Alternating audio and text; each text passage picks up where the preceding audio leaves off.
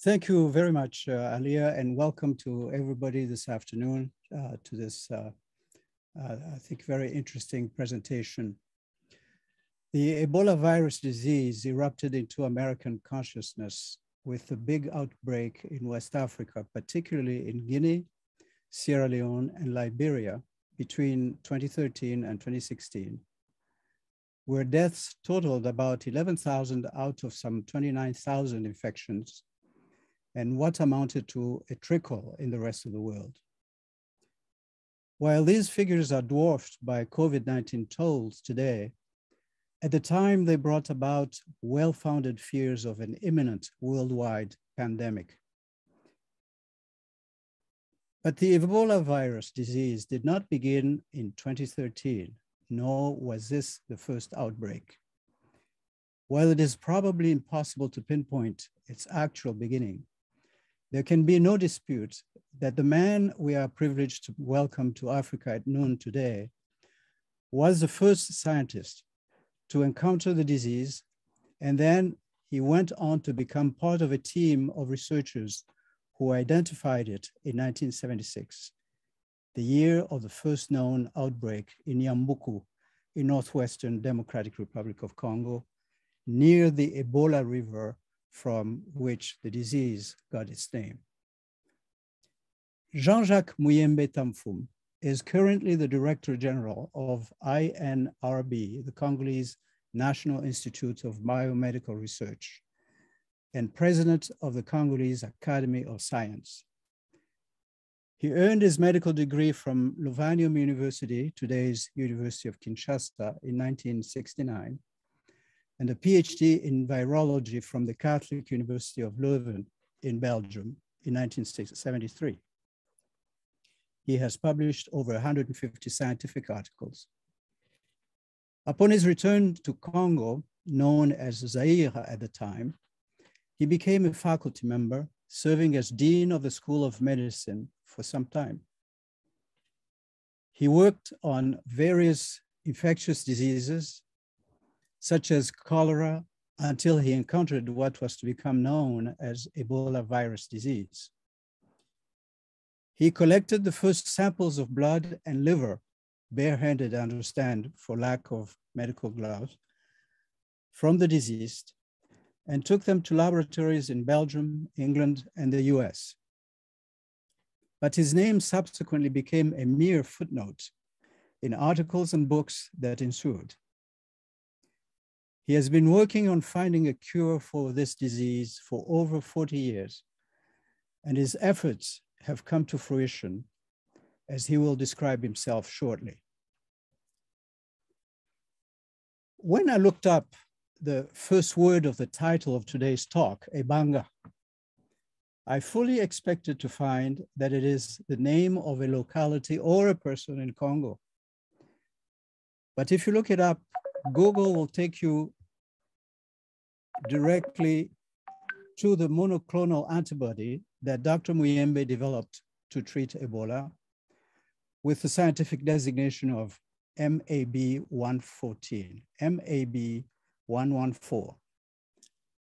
This drug received FDA approval in December 2020, and it is now manufactured in this country by Ridgeback Biotherapeutics. For Dr. Jean-Jacques Muyembe, the year 2015 seems to have been a banner year as he received several international awards in recognition of his efforts.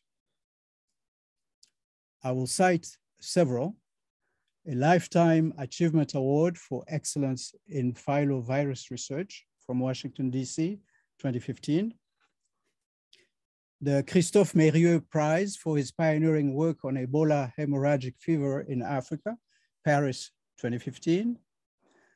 The Royal Society Africa Prize for his seminal work on vi viral hemorrhagic fevers, including Ebola in London, 2015. And in 2019, he received the third Hideo Noguchi Africa Award from Japan for medical research category for research to combat the deadly Ebola virus and efforts to train legions of disease fighters in the field of medical research, contributing to the health and welfare of uh, African people. I was in Tokyo 2019. And uh, someone called him the Ebola hunter. In addition, he was named one of Time magazine 100 most influential people in 2020, as well as one of the journal Nature's 10 personalities of significance in science in 2018 and 2019. He was also named an honorary international fellow of the American Society of Tropical Medicine and Hygiene in recognition of outstanding contributions to the field of tropical medicine in Baltimore, 2017. Professor Muyembe has pre-recorded his lecture. Though he would have preferred to do so in French, he offered to uh, do it in English. We would like to make this session as bilingual as possible. Jacqueline Ebela Benin, a PhD candidate in the Department of French and Italian will help, help with uh, translating and interpreting. We ask that you write your questions in Q&A, and Jackie and I will take turns translating them if necessary. Professor Muyembe may choose to answer in English, but he might choose to answer in French and we'll translate. So uh, please help me uh, to welcome Professor Jean-Jacques Muyembe Tamfum.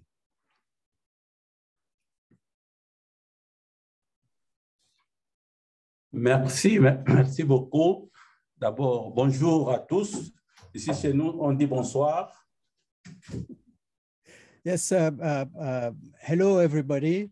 Um, here we're saying uh, good morning, but uh, right now over here we're, we're in the evening, so good evening. Uh, merci beaucoup, professeur Aliko, pour cette présentation qui me fait vraiment un grand honneur. Thank you very much, uh, Professor Songolo, for, for, Professor Aliko, he said, uh, for uh, this uh, uh, presentation, this introduction that uh, honors me. Et je dois aussi remercier toute l'équipe qui a préparé cette session. Je sais que ce n'est pas facile d'avoir aux États-Unis une traduction du français en anglais. Yes, and I would like also to, to thank the whole team that uh, worked hard on this uh, on this session. I know it's not uh, uh, uh easy in the U.S. to have uh, you know a, a, session that's translated from French into English. Merci beaucoup pour votre temps, mes chères dames, car je vois là la plupart d'entre vous sont des dames.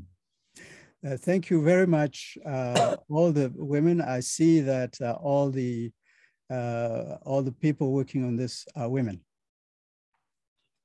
Je pense que ceci, c'est une opportunité pour nous de vous présenter les travaux scientifiques que nous réalisons ici en Afrique.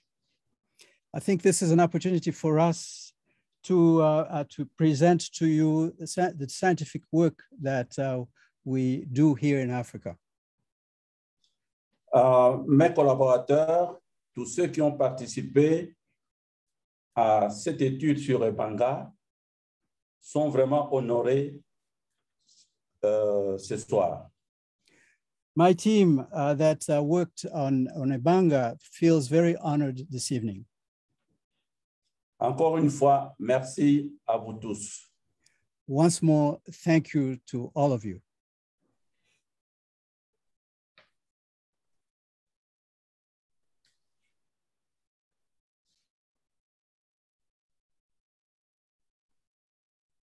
I would like to thank the organizer of this afternoon conference for its kind invitation. It is a great honor for me to address all of you this afternoon. The title of my lecture is Development of Ebanga as a treatment for Ebola virus disease in DRC. Next slide, please.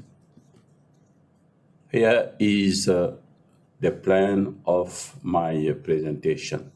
I will, I will give the background of Ebola virus disease, stages of mAb 114 development, mAb 114 and Ebola virus disease epidemics in DRC. And finally, I will give a brief conclusion.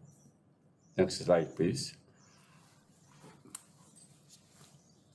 Uh, the filovirus family includes uh, four genera. It is Cuevavirus, Dianlovirus, Ebola virus, and Marburg virus.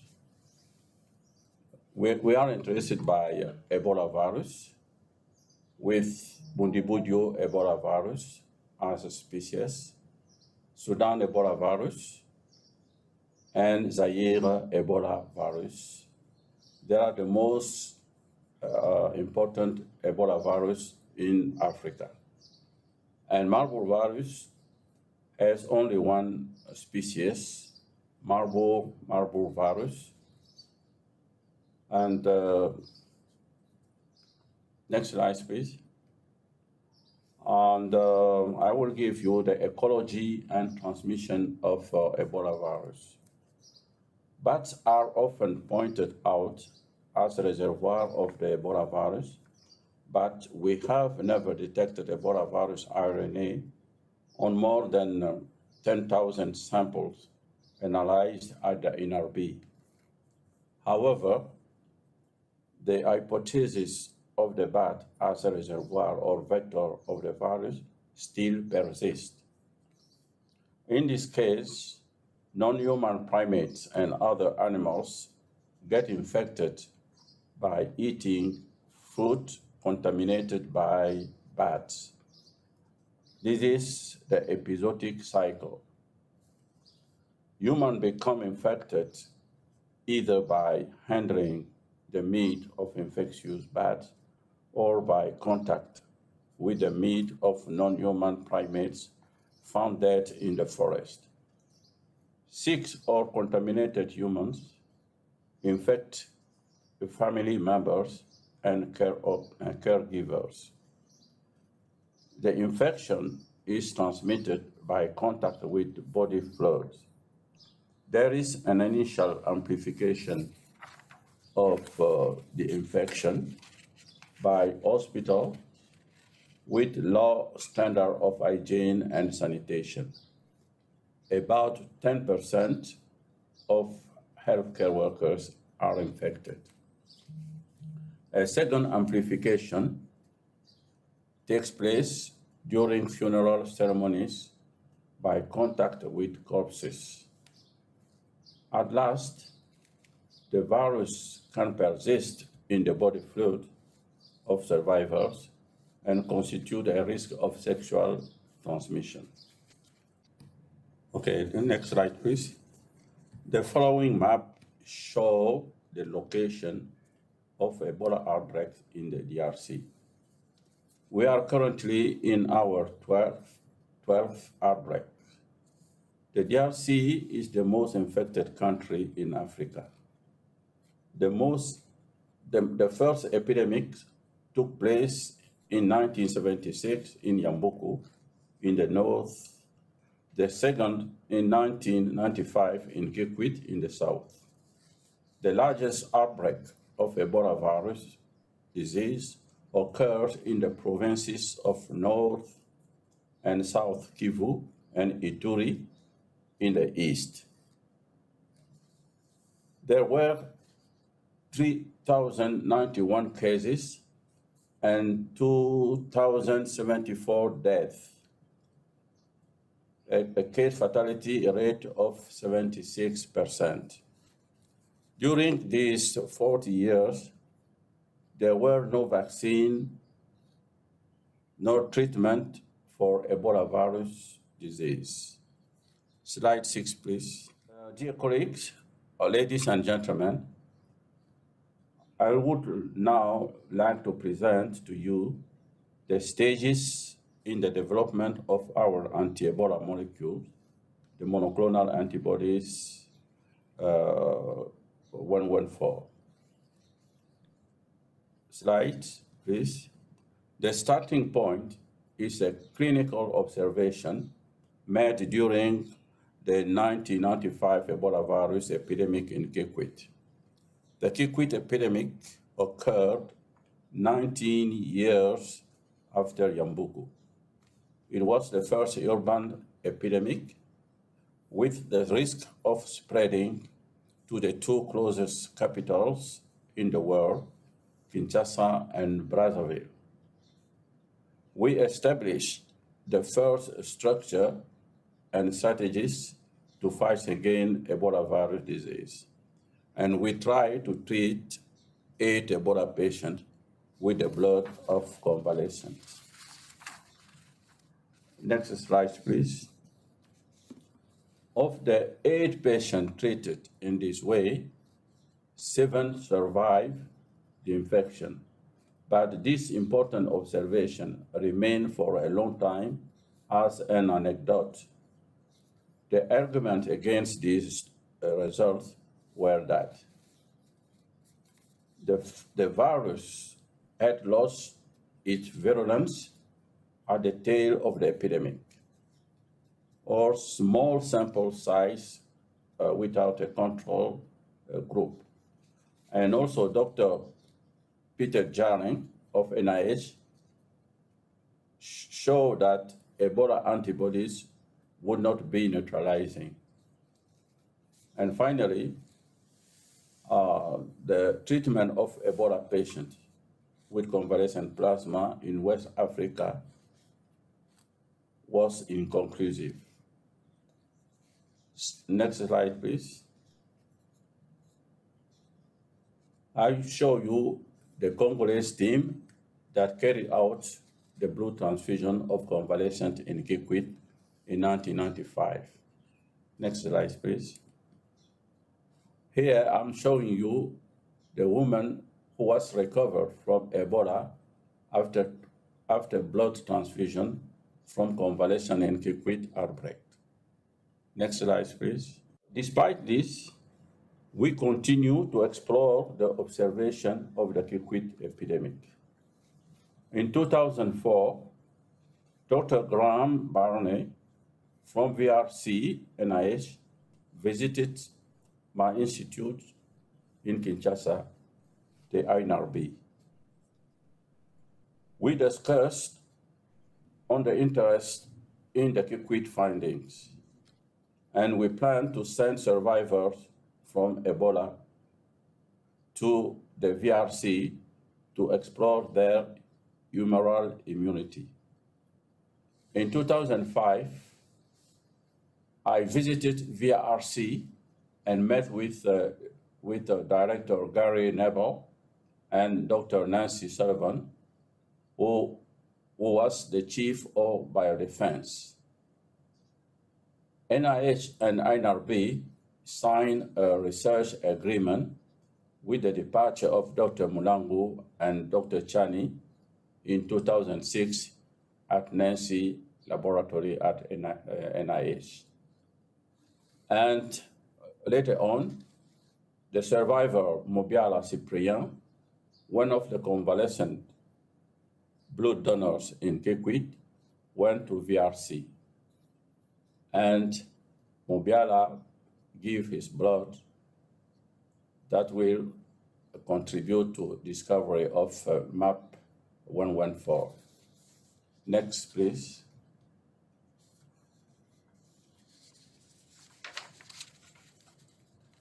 Uh, was uh, uh, a patient who developed severe Ebola virus disease and illness. He developed fever, headache, arthralgia, bloody diarrhea, and mucosal and conjunctival hemorrhage. He was hospitalized for two weeks, followed by six months of providing inpatient care to patients admitted with Ebola virus infection. Next slide, please. From the blood of, uh, of Mobiala, lymphocyte B were isolated. A panel of memory B cells was uh, generated and uh, the gene was isolated and uh, monoclonal antibodies were uh, developed to, uh, to treat Ebola, uh, Ebola patients. Next slide, please. In these slides, I want to show you the rationale for development of mAb 114. mAb 114 was identified from a subject in, infected with Ebola virus during the Ebola outbreak in Kikwit, uh, DRC, and who maintained circulating antibodies for, for more than uh, 10 years after infection. mAb 114 was selected following isolation and screening of a panel of memory B cells based on its binding to the Ebola GP and in vitro neutralization potential. Rhesus macaque passively immunized with mAb 114 up to five days post-challenge with a lethal dose of Ebola virus were protected from Ebola virus disease, underscoring its therapeutic potential in humans with Ebola virus disease. Based on its in vitro activity and previous experience with other mAb like ZMapp and so on against Ebola virus disease, the rationale for development of mAb is to provide a simplified therapeutics product and or dosing regimen for Ebola virus disease to identify mechanism of Ebola virus disease protection and explore development for potential stock, uh, stockpiling. Uh, next, please.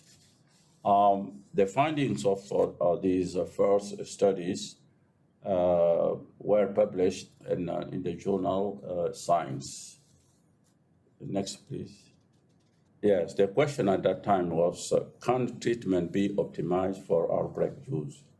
So um, for a single, a single dose of mAb 114, a simplified treatment regimen, it means uh, for uh, less than one day, and shortened infusion time, um, it is less than one hour. So for that, we use the syringe pump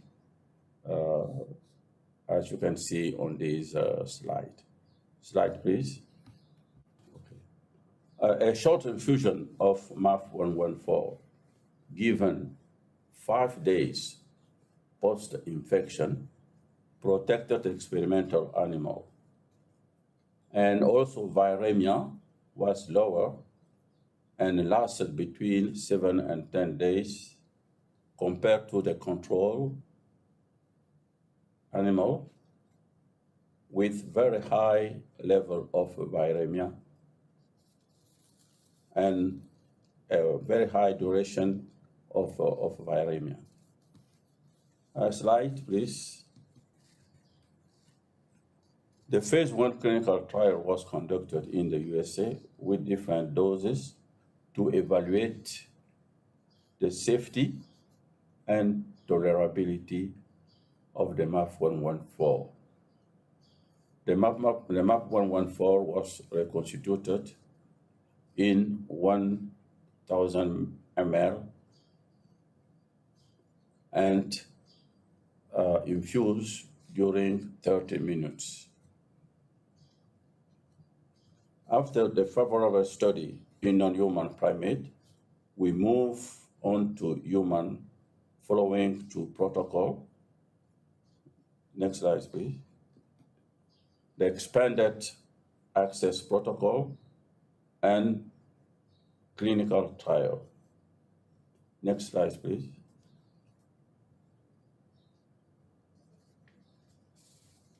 The WHO recommendation for EAP are as follows no proven effective treatment exists. It is not possible to initiate clinical study immediately, and preliminary efficacy and safety from lab animal studies support its, its use. Adequate resources are available to ensure that risk can be minimized. Informed consent is obtained, the administration of experimental product is monitored and results are documented and shared in a timely manner. The panel of experts recommended the first treatment will be with ZMapp, Redemsivir, Regeneron, and mAb 114. Next slide, please. For this um, uh, investigation, we use four molecules, uh, ZMapp, Regeneron, mAb114, and Redemsivir. ZMapp is a cocktail of chimeric human murine monoclonal antibodies. Regeneron is a cocktail of fully human monoclonal antibodies. mAb114 is a single human monoclonal antibodies, and remdesivir is nucleotide product. All these uh, products are specific for uh, Ebola, Ebola Zaire, species. Uh, has a broad spectrum antiviral uh, pro product, product. And the treatment for uh, ZMapp is three doses for three days. Uh, Regeneron is given by a single dose and also uh, mAb 114 for single dose and uh, Redemsivir uh, for uh, 10 to 14 days. Next, please. The expanded access was conducted according to the following algorithm. Does the patient have confirmed Ebola virus disease? If no, we stop. If yes, we consult with clinical expert group. Is sufficient staff, is there a sufficient staff and monitoring equipment available for prolonged uh, infusion. If no, you will have limited capacity. We will prioritize a list of therapeutics. We will start with Redemsivir and then mAb114 or Regeneron. If it is yes, we have adequate capacity, we will use the list as follow. We'll start with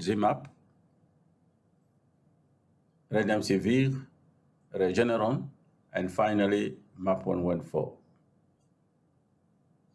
Final decision rests with the treating physician and or the team at the time of proposed treatment. Next slide, please. So the Ebola outbreak in North Kivu and Ituri was an opportunity for us to use these antiviral molecules. The Ebola outbreak started on August 1st, 2018 in North Kivu, and samples from Mangina were confirmed as cases of Zaire Ebola virus at the NRB. And on, on August 6th, NRB sequencing confirmed that the outbreak was caused by Zaire Ebola virus, supporting usage of rVSV vaccine and ZMapp and mAb 114. So um, on this slide, I show you the sequencing of uh, the virus, and it showed that the outbreak was caused by Ebola virus Zaire. Next, please. So uh, on August 7th, we obtained the RB approval given by the Kinshasa School of Public Health for use for uh, uh, vaccine, Ebola vaccine, that is the RVSV above, and for mAb 114. Next, please. On August 8, WHO and Minister of Health start rVSV ring vaccination in Mangina.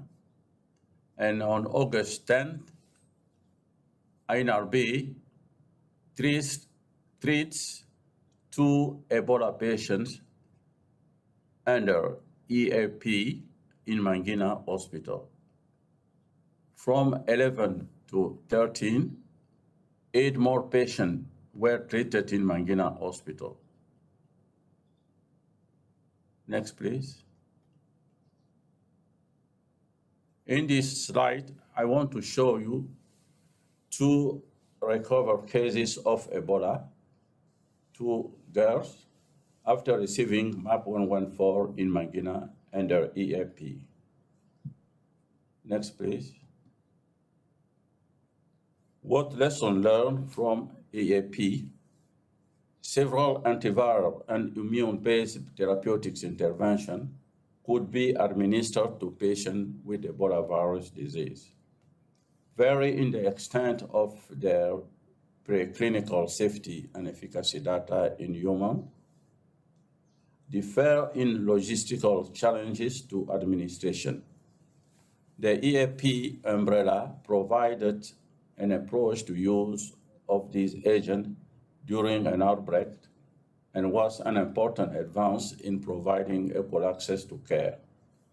Given the many unknown about this intervention, RCT randomized clinical trial are essential to determine the relative efficacy and safety individually and in combination the potential benefit of this intervention remain severely limited without a foundation of optimized supportive care. Next slide, please. It is why we initiated a randomized clinical trial with mAb 114. Next slide, please. RCT of investigational project on Ebola virus disease, limited trial evidence that ZMapp was effective in the 2014-2018 outbreak in West Africa. So it is included in a standard of care for this trial. EAP does not allow for collection of data in an unbiased way. It is why randomization helps prevent certain bias. Next slide, please.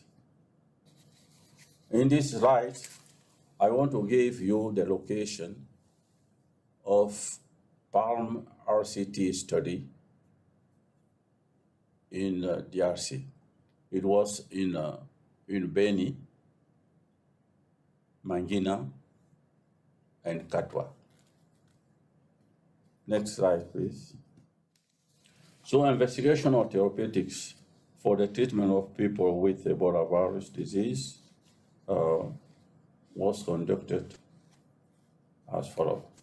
The objective was to study the safety and effectiveness of for drugs for people with Ebola virus. Eligibility, only people of any age with Ebola infection who are in the treatment centers were selected. A study process, participants were randomized to one of four study drugs. ZMapp, about four hours, Remdesivir, about one hour.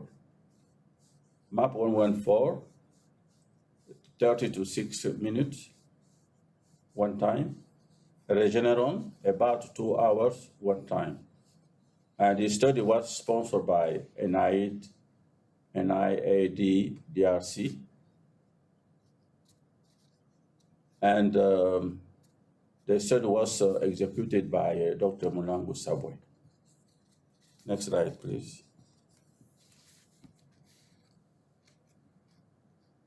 Treatment.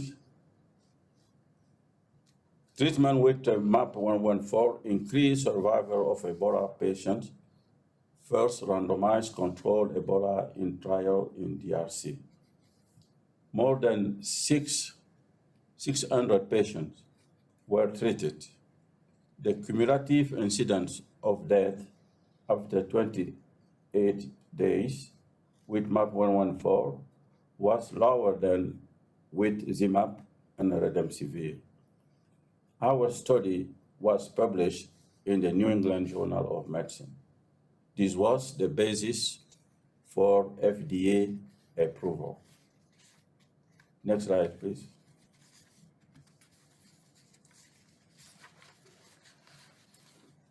The US Food and Drug Administration approved mAb 114 that we call a Ebanga for the treatment of for the treatment for Zaire Ebola virus infection in adults and children. A Ebanga blocks binding of the virus to the cell receptor, pre preventing its entry into the cells. Next slide, please. In conclusion, once deadly and sporadic, Ebola virus disease epidemics are increasingly frequent in the Congo and Nile Basin. Today, Ebola virus disease is preventable and curable thanks to Merck RVSV's above GP vaccine and two monoclonal antibodies, including Ebanga mAb 114. Ebanga, the dream of my life, is now a reality thanks to the commitment of Congolese scientists, the cooperation with the NIH USA, and the contribution of Congolese patients and survivors. Next, please.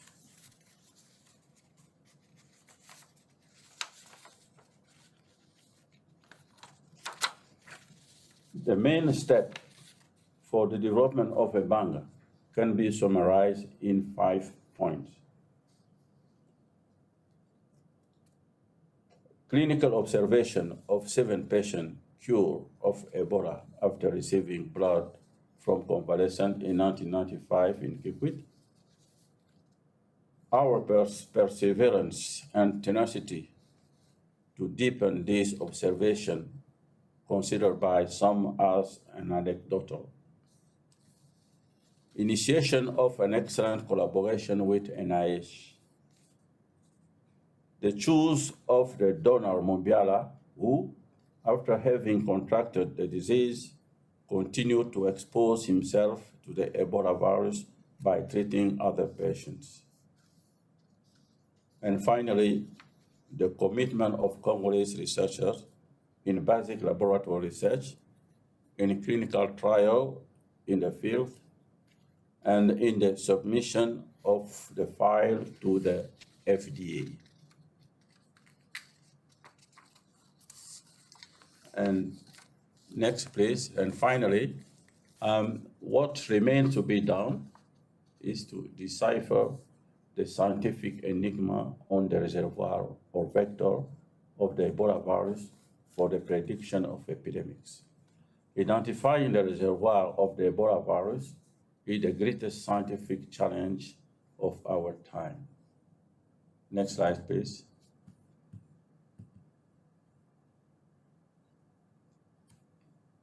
I want to thank you, to thank you, all of you, Thank you very much.